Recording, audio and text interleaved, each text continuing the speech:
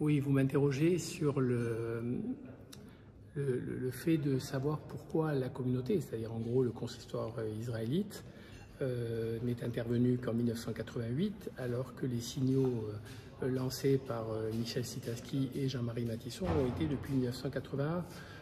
Personnellement, j'étais juste membre de cette communauté et je n'étais pas responsable, mais D'après ce que j'en ai entendu, en tout cas, euh, il était très clair que, comme toute communauté euh, juive implantée dans une ville, il y avait la volonté de faire le moins de remous possible.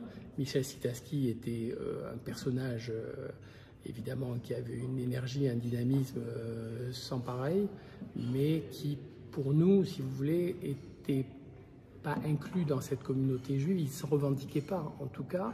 Et c'était quelqu'un qui était plutôt dans la contestation. Et comme vous savez, il y a, un, dicton qui dit que toutes les communautés juives, pour être bien intégrées et bien acceptées, doivent se soumettre aux règles de la ville. Et moi, j'estime que c'est peut-être dans ce cadre-là que le consistoire a souhaité aller dans cette direction d'apaisement, de calme, parce qu'il ne savait pas dans quelle direction allait aller ce procès. Voilà. Et donc, je pense qu'il y avait des craintes de remuer quelque chose et que des retombées négatives pouvaient aller euh, évidemment sur la, sur la communauté. Mais aujourd'hui, il est important qu'on ait des aiguillons comme, comme Jean-Marie Matisson, comme Michel Sitaski.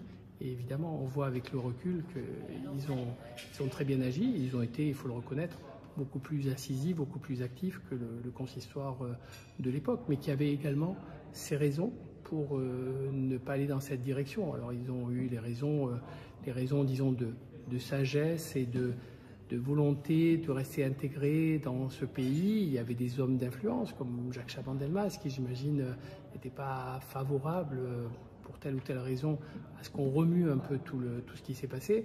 Mais regardez aussi le délai entre tout ce qui s'est passé au moment du procès Papon et la déclaration de Jacques Chirac en 1995.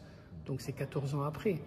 Va-t-on reprocher au président précédent, avant Jacques Chirac, de ne pas avoir fait cette même déclaration?